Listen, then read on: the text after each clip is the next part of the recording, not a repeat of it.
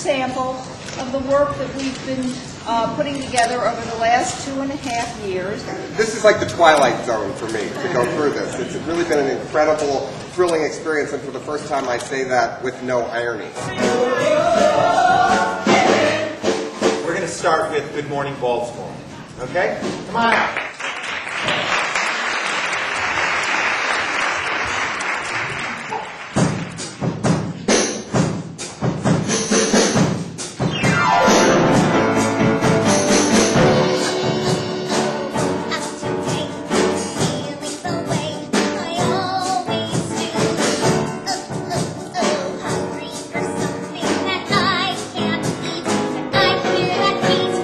Always been a huge fan of John Waters. You know, Serial Mom's my absolute favorite movie in the world. So, like, th- this experience has been so exciting. All, you know, with everything that came with it, not just originating a Broadway starring role. It was like that's unreal to begin with, but then all the other things that came with it were so exciting for me.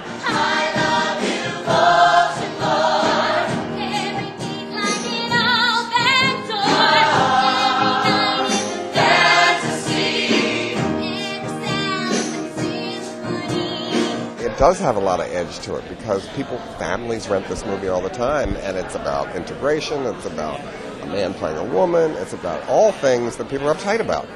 The best review it ever got was it said that it was a film all families could like, the Mansons and the Brady's. It's got a nice, easy, important message. It's not beat to death. So I, I think that's one of the secrets of doing a good show is just not overdoing it. Just keep it simple. Keep it And we got a kid who's blowing the lid off the Turnblad family tree. You'll never be forgotten. Shot your timeless have me. You'll always be toujours, mon amour. You're timeless to me.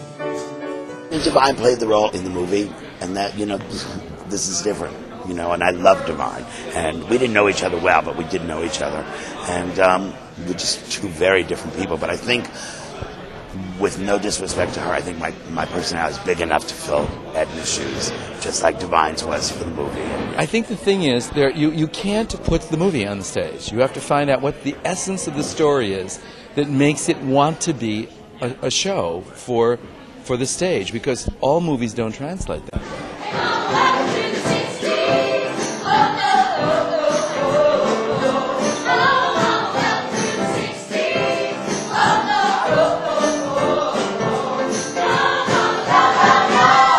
This is about the middle of the second scene.